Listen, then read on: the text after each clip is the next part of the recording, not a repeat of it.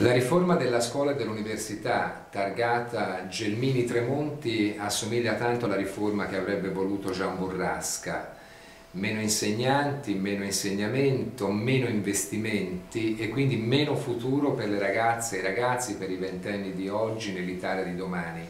Noi pensiamo invece ad una riforma dell'università che tagli i tanti rami secchi, che tagli i corsi dove ci sono fra i 3, i 5, i 6, i 10 studenti, le tante succursali che costano, università private che rilasciano moltissimi diplomi di laurea come fossero dei coriandoli e pensiamo a reinvestire quelle risorse risparmiate soprattutto nella scuola pubblica e nei centri di eccellenza universitari.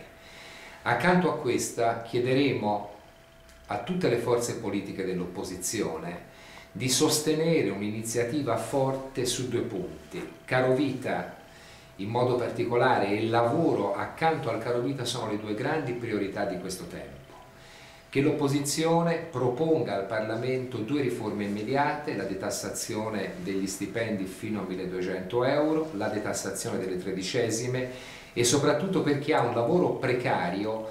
perlomeno il godimento dei diritti fondamentali, in testa la previdenza e le ferie. Soltanto così potremo mettere a riparo una parte rilevante di questa Italia dalla crisi internazionale che l'Italia sta vivendo e potremmo anche dare una risposta precisa al nostro pontefice, secondo il quale